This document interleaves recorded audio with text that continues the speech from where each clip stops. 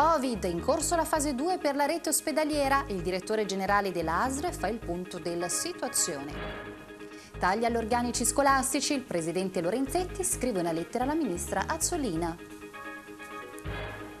L'ufficio scolastico conferma licenziamento di 34 docenti, i sindacati prospettive preoccupanti. Riparte il mercato settimanale a massa tra incertezze e tante regole. Via anche al commercio ambulante ad Avenza, ma con un cambio di location. In base a quali criteri rimpiazzate il personale? CGL chiede un confronto urgente all'amministrazione di Casa Ascoli.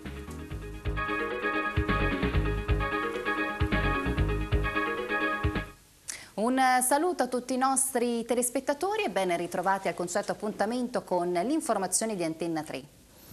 In apertura il Covid, in corso la fase 2 per la rete ospedaliera dell'ASL Toscana Nord-Ovest.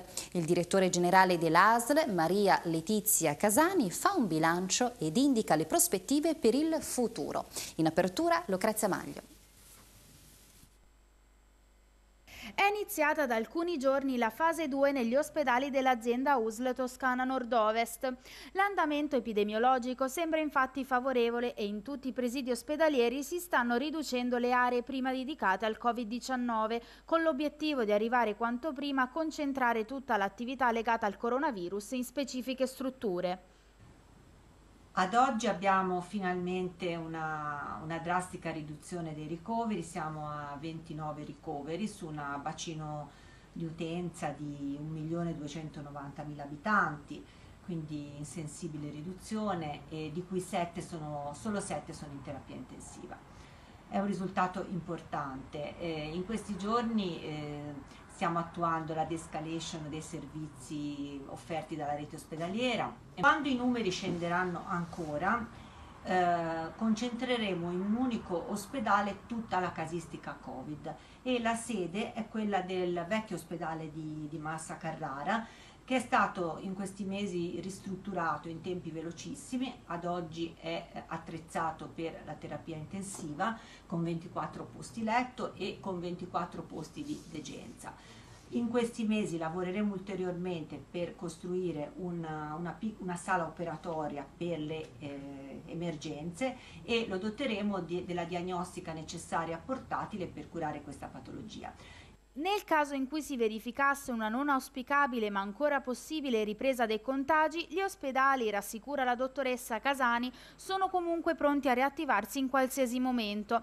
Adesso l'ASL e tutto il personale ospedaliere è preparato e hanno attrezzato meglio tutte le strutture e le tecnologie, così da ampliare e ridurre le attività dedicate al Covid a seconda delle necessità.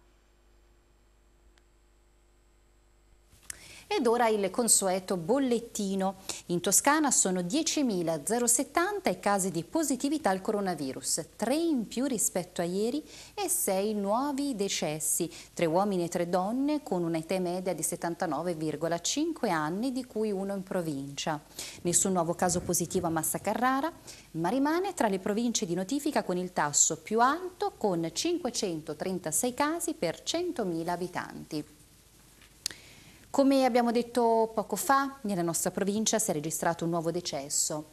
Ad aggiungersi alla lunga lista dei decessi per Covid-19 il nome del dottor Cesare Landucci, noto medico di massa che da oltre due mesi stava combattendo contro il virus nel reparto di terapia intensiva. È venuto a mancare questa mattina.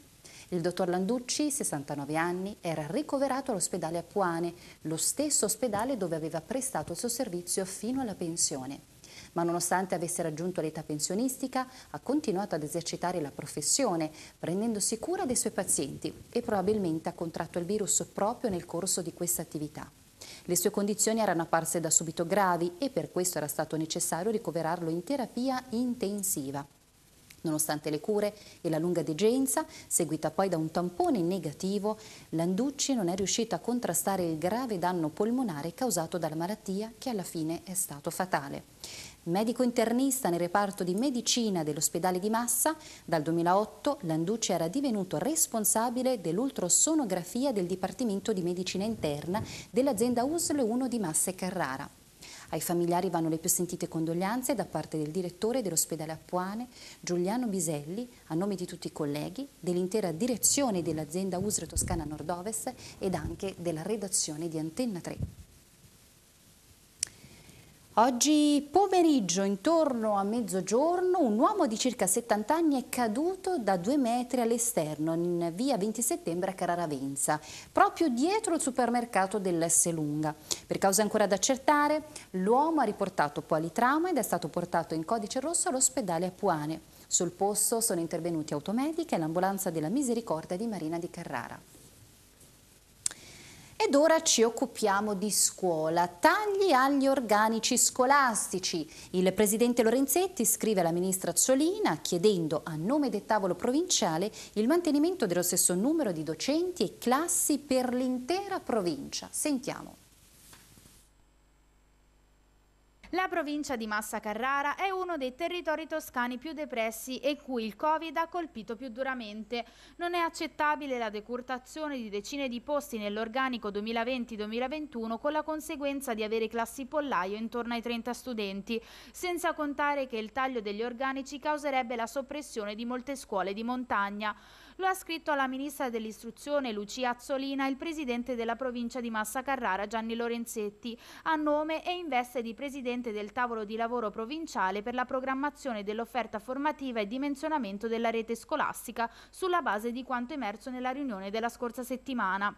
Vista la situazione di particolare criticità dovuta al momento storico che ci troviamo ad affrontare, il presidente Lorenzetti ha chiesto il mantenimento degli organici dello scorso anno, in modo che a settembre studenti e docenti possano riprendere le attività didattiche in sicurezza. Nella lettera inviata anche alla sottosegretaria Anna Scani, al direttore generale dell'ufficio scolastico regionale Ernesto Perlecchia e alla dirigente dell'ufficio scolastico provinciale Donatella Buonriposi, il Presidente ha ricordato che tutti i componenti del tavolo hanno denunciato con preoccupazione e allarme il pesante taglio degli organici docenti di ogni ordine e grado, inizialmente pari a 44 posti e poi ridotto a 34 su un totale di 118 dell'intero territorio regionale. Il calo demografico che pure esiste non giustifica affatto una riduzione di queste proporzioni, continua la lettera, e significa comunque che si è continuato a ragionare come se la pandemia non ci fosse stata e come se i numeri degli alunni per classe non dovessero scendere per consentire il rientro nelle aule che resteranno quelle che sono. Lorenzetti poi ha ricordato come proprio per l'emergenza Covid-19 la ministra avesse pubblicamente assicurato che l'organico sarebbe rimasto invariato nonostante il calo della natalità una scelta lungimirante che avrebbe consentito di lavorare nell'ottica della riduzione del numero di alunni per classe, dice Lorenzetti. Si prospetta invece una situazione insostenibile per il nostro territorio che comporterà dalle 20 alle 30 classi in meno, a seconda del grado di istruzione che si andrà a colpire. Non è stata presa in considerazione la particolare situazione geografica né si è tenuto conto di aspetti essenziali come l'edilizia scolastica che in questa provincia ha strutture spesso inadeguate.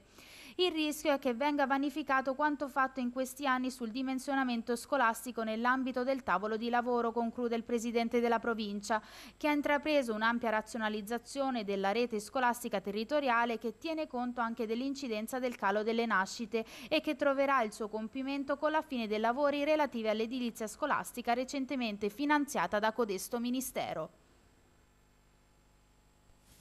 Il corpo docenti di Massa Carrara subirà un drastico taglio. Infatti saranno 34 i docenti coinvolti per la provincia, come annunciato l'ufficio scolastico regionale. I sindacati hanno illustrato un quadro preoccupante. Ci spiega meglio Rossella Brattini. Taglio drastico dei docenti in provincia di Massa Carrara. L'ufficio scolastico e regionale ha confermato il coinvolgimento di 34 docenti per la provincia in un incontro avvenuto questa mattina con tutti i sindacati. I sindacati chiariscono di aver ottenuto un secondo momento di confronto prima della chiusura degli organici, nella speranza che le proteste degli ultimi giorni da parte di sindacati, scuole, famiglie, istituzioni locali e parlamentari trovino il dovuto ascolto da parte del Ministero e dell'URSS Toscana. Le ipotesi proposte dai tecnici dell'UST ai dirigenti scolastici comprendono soppressione di nove sezioni di scuola d'infanzia, rinuncia di alcune classi, trasformazioni da classi di inglese e potenziamento a classi irregolari, rigetto di implementazione degli indirizzi musicali, forte penalizzazione alle medie superiori delle richieste avanzate dall'Istituto Palma e Barsanti. Tuttavia, secondo i sindacati, tutte queste ipotesi si scontrano palesemente con dati di fatto non contestabili. Sezioni ingestibili nella scuola, la scuola primaria subirebbe un radicale depauperamento delle risorse ottenute fino ad ora per irrobustire e qualificare l'offerta didattica. La scuola secondaria di primo grado, in più in una classe su due, ospiterebbe più di 20 alunni. Noi denunciamo ancora una volta con forza che la ministra Azzolina, che in questi giorni ripete ossessivamente che sta lavorando per riaprire a settembre le scuole in sicurezza, sta invece concretamente determinando la costituzione di classi pollaio che non avranno a settembre alcuna possibilità di essere ospitate nelle aule delle nostre scuole, hanno commentato i sindacati. Secondo i sindacati, infatti, in questo contesto a settembre, con il ripartire dell'anno scolastico, non sarà possibile garantire le condizioni minime di sicurezza agli alunni. Dobbiamo fare tutto il possibile per fermare questo scempio finché siamo in tempo, hanno concluso i sindacati. Le organizzazioni sindacali continueranno a farsi carico di tutte le criticità segnalate dai lavoratori, dai dirigenti scolastici e dagli stessi genitori in tutte le sedi opportune, enti locali, UST, URSS e Ministero. E proprio sull'argomento intervengono anche giovani democratici. Secondo loro l'ambiente scolastico avrebbe subito un cambiamento radicale in pochissimo tempo e nonostante il sistema fosse già in forte difficoltà non si sarebbero mai aspettati tagli sul personale. La scuola, uno dei cardini della società, è per i giovani democratici un punto di riferimento per molti, dagli studenti che vi apprendono ai docenti che vi insegnano, ma anche per le famiglie e proprio per questo il ruolo di docente ha un grosso peso. Secondo gli arancioni il taglio al personale significherebbe l'accorpamento di più classi, quindi più alunni che non faciliterebbero l'introduzione delle misure di sicurezza. Giovani democratici di Massa Carrara sono intervenuti in merito proprio alla situazione dell'ambiente. Riparte il mercato settimanale a massa tra incertezze e tante regole. I clienti sembrano aver rispettato tutte le misure di contingentamento e anche i commercianti si sono attenuti alle normative e stamattina c'erano proprio le nostre telecamere.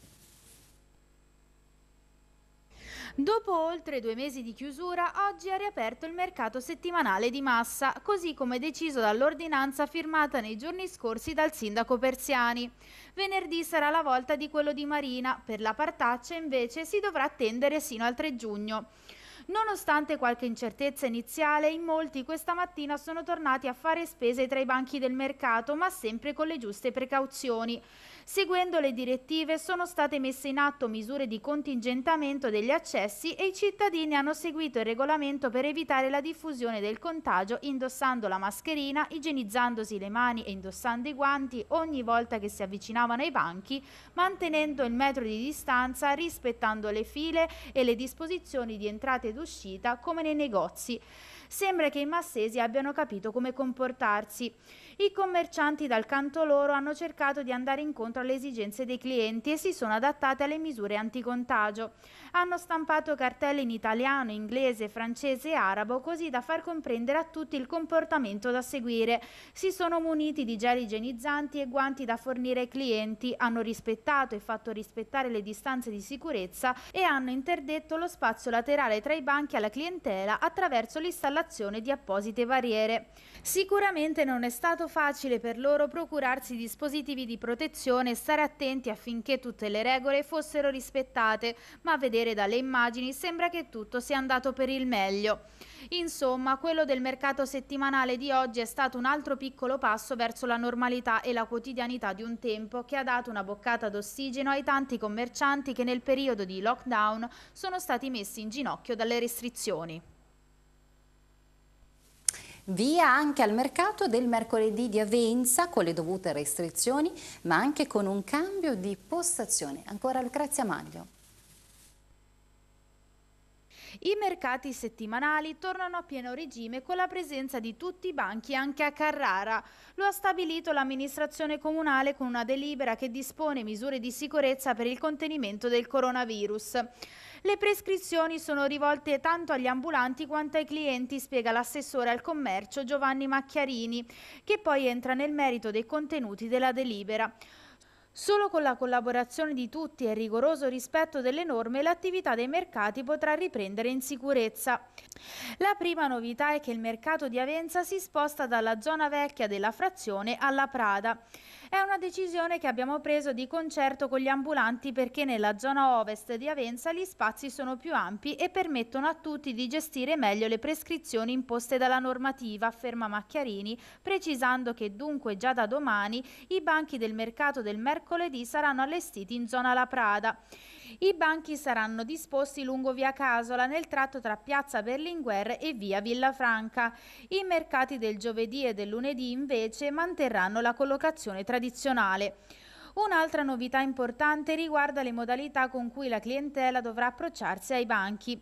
Questi saranno accorciati di un metro per consentire la creazione di una fascia di rispetto dotata di ingresso e di uscita e opportunamente delimitata a cui potranno accedere al massimo due persone alla volta che dovranno sempre mantenere la distanza di sicurezza tra loro. Le aree mercatari inoltre saranno munite di apposita cartellonistica con una sintesi delle principali norme di comportamento da seguire, igienizzare le mani all'ingresso, indossare la mascherina e mantenere la distanza interpersonale di almeno un metro. Confido che gli ambulanti e i clienti si attengano scrupolosamente alle indicazioni e ringrazio il personale del settore del commercio, conclude Macchiarini. Grazie al lavoro svolto in questi giorni abbiamo messo altre attività nelle condizioni di ripartire. Questa mattina davanti all'ingresso del comune di Massa è accaduto l'ennesimo episodio di violenza e prepotenza da parte di un signore che eh, solitamente collabora con il comune eseguendo lavori di manutenzione in un parco pubblico di Marina di Massa. A denunciare l'accaduto è il presidente del consiglio comunale Stefano Benedetti, protagonista e parte lesa del fatto. Circa tre mesi fa, racconta Benedetti, lo stesso signore era entrato nel mio ufficio minacciandomi e offendendomi senza nessun valido motivo. Stamani, pur di entrare in comune, che attualmente è chiuso al pubblico, non ha esitato a strattonare l'usciera di turno, spalancando la porta d'ingresso ed entrando con prepotenza, senza mascherina e senza farsi misurare la temperatura. Dopo aver assistito all'episodio, il presidente del Consiglio Comunale ha richiesto l'intervento della polizia che ha fermato l'aggressore. Domani eh, sarà denunciato dal sottoscritto e dalla dipendente comunale, conclude Benedetti. Inoltre sarà necessario presentare anche una diffida di avvicinamento al comune annullando tutte le collaborazioni in corso. Gli investigatori hanno perquisito la sede dell'ente parco delle Alpi Apuane così come l'abitazione del presidente del parco, dice il presidente del gruppo regionale Penta Stellato Giacomo Giannarelli. Tra i tanti indagati, oltre a diversi amministratori locali, risulterebbe anche un imprenditore del marmo di Massa, noto per essere proprietario di Cava Romana all'interno del parco delle Alpi Apuane, dove viene estratto il pregiato marmo bianco P. In questo contesto, commenta il presidente del Movimento 5 Stelle, occorre commissariare il Parco delle Apuane. L'area è da troppi anni solo oggetto di sfruttamento. Ancora oggi la situazione sulle Alpi Apuane sembra essere quella precedente all'approvazione definitiva dell'integrazione al piano paesaggistico regionale, conclude, che raffigura un vero strumento di tutela per i nostri paesaggi ed i nostri ambienti. E sempre il Parco delle Apuane eh, si appresta, scrive il, il, regolamento delle attività estrattive e avvia una preventiva fase di consultazione per acquisire contributi da parte dei portatori di interessi. Come è noto, il Parco regionale delle Alpi Apuane sta predisponendo il nuovo piano integrato per il parco, il cui avvio è stato approvato dalla Giunta regionale toscana nell'ottobre dello scorso anno. E con l'incontro poi del 3 febbraio presso la provincia di Massa Carrara è stata avviata la fase fase di informazione e partecipazione del pubblico che ha visto una drastica interruzione a causa dell'emergenza Covid-19 ma che riprenderà non appena possibile. Ci fermiamo adesso per un po' di pubblicità e poi torniamo subito in studio perché l'informazione di Antena 3 continua.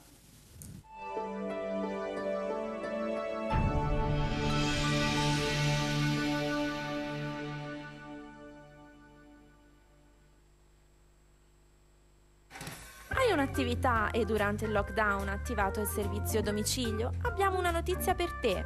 Antenna 3 ha creato una piattaforma gratuita per mettere in contatto le aziende della provincia che hanno attivato un servizio delivery alla cittadinanza. Registrati gratuitamente sul sito coseacasa.antenna3.tv e inizia a far conoscere i tuoi servizi.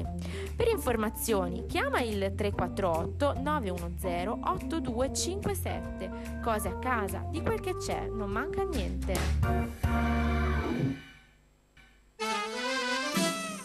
Amore, ci sono mille cose da fare prima della festa per zia Pina e tu sei sempre lì con quel tablet. Piante da sistemare, muri da tinteggiare, la parabola da montare. Già fatto! E come? Noleggiando tutta l'attrezzatura da Italnolo. Resta solo la festa. Fatto anche questo. Ora manca solo zia Pina. L'hanno già noleggiata. Tutti possono rivolgersi a Italnolo. MB Garden è l'emozione di vivere la natura, la progettazione fotografica dei vostri spazi verdi, dal parco con piante e olivi secolari al piccolo giardino. MB Garden è la serra, un trionfo di fioriture primaverili, piantine da orto, aromatiche, piante da frutta, vasi, terricci, un'offerta selezionata, completa e sempre nuova a prezzi incredibilmente bassi. MB Garden, via Aurelia Ovest 295 a Massa, dalla progettazione alla manutenzione del tuo verde, con sopralluoghi e preventivi gratuiti. Offerte e news su Facebook. Qual è la TV locale più seguita in provincia? Facile! Con oltre 35.000 telespettatori al giorno, Antenna 3 è la televisione di casa tua. Chi altro?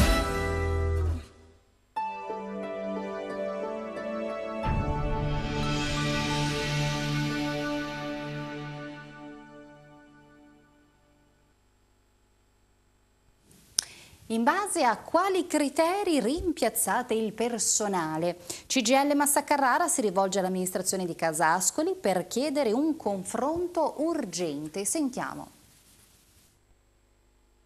È passato oltre un anno da quando il Consiglio di amministrazione di Casa Ascoli ha intrattenuto l'unico confronto sindacale con la funzione pubblica di Massa Carrara dopo che si è insediato.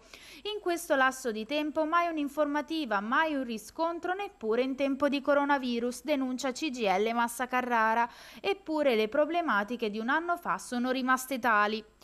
Dall'ultima assemblea con le nostre iscritte, anzi, pare che si siano accentuate tutta una serie di problematiche irrisolte che meritano di essere affrontate con serietà e puntualità, spiega il sindacato. La Presidenza lo deve a lavoratori e lavoratrici che in questa fase pandemica hanno continuato ad operare con professionalità e spirito di dedizione al lavoro, professionalità che è stata ripagata con il risultato non scontato di diffusione zero del contagio in struttura. Per questo motivo, ma soprattutto per ottemperanza delle norme di legge e di contratto, secondo la CGL Apuana, sembrerebbe opportuno perlomeno essere informati su come ha intenzione di muoversi Casa Ascoli rispetto al premio di risultato 2019. Vorremmo capire se esiste un piano industriale e se è volontà dell'amministrazione continuare a rimpiazzare personale in uscita con lavoratori in somministrazione scelti non si capisce in base a quali criteri, dice CGL Massa Carrara, aumentando il precariato oppure se rientra nella volontà non manifesta di un progetto di selezione pubblica per il reclutamento del personale. Nel frattempo, conclude il sindacato, il personale attende ancora promesse progressioni orizzontali che non sembrano essere prese in considerazione da questa amministrazione. Ci auguriamo in modo serio, costruttivo e unitario di rialzare la testa con decreti governativi e iniezioni di liquidità per portare benefici a quella parte di popolazione che è rimasta a causa della pandemia senza alcun sostegno economico. Il nostro pensiero va indistintamente a tutte le vittime, alle loro famiglie e in modo particolare a quegli anziani deceduti nelle RSA. Scrive in una nota Will Pensionati riguardo all'emergenza sanitaria la fase 2. Una volta ancora vogliamo ribadire che per come è strutturato oggi il nostro sistema sanitario è inefficace, conclude il sindacato e soprattutto si scontra sui dettami costituzionali riguardanti i cittadini a favore di forme sanitarie privatistiche. Con la riapertura della ricicleria di via Berniere d'Avenza torna a pieno regime il servizio di raccolta rifiuti ingombranti di Nausica Spa. La struttura sarà aperta tutti i pomeriggi, dal lunedì al venerdì, a partire da giovedì 28 maggio e a differenza del periodo pre-Covid, l'accesso per scaricare ingombranti e RAE, cioè rifiuti da apparecchiature elettriche ed elettroniche, avverrà solo su appuntamento da prenotare telefonicamente. Gli accessi si, si potranno prenotare già da oggi. Durante il periodo di chiusura la ricicleria è stata adeguata alle ultime normative di sicurezza anche per scongiurare il rischio di contagio da coronavirus. Per questo, per accedere, sarà necessario osservare alcuni importanti accorgimenti. Nausica ricorda quindi che per usufruire del servizio è sufficiente contattare il numero 0585 64 4312 da lunedì al sabato dalle 8 alle 13. Con l'entrata in vigore dell'atteso decreto rilancio, il patronato INAPA ed il CAF, Confartigianato Imprese Massa Carrara, sono operativi attraverso due sportelli dedicati per supportare persone e famiglie con il conseguimento dei bonus, sussidi ed agevolazioni introdotte dal richiamato decreto.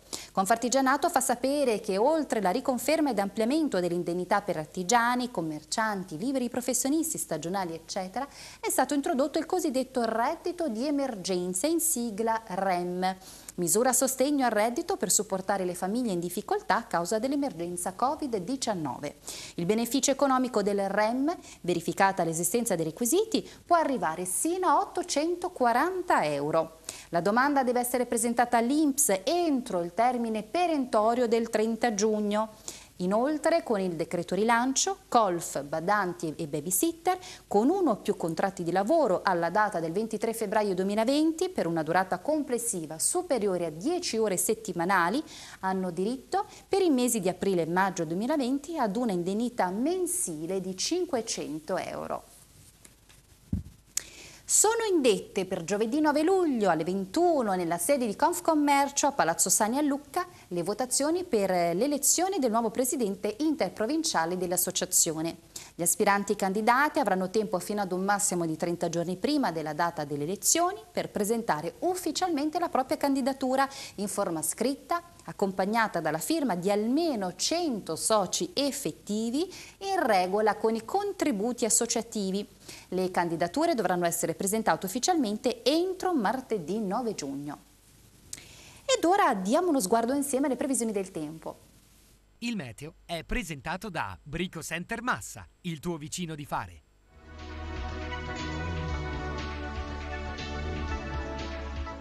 Previsioni per mercoledì 27 maggio. Prevalenza di sereno, temperature in calo, venti moderati e mare poco mosso. Giovedì 28, sereno poco nuvoloso, temperature in rialzo, venti deboli e mare quasi calmo. Tendenze per i giorni successivi, tempo nuvoloso, temperature stazionarie, venti deboli e mare poco mosso. Per ulteriori informazioni visitare il sito www.meteapuane.it.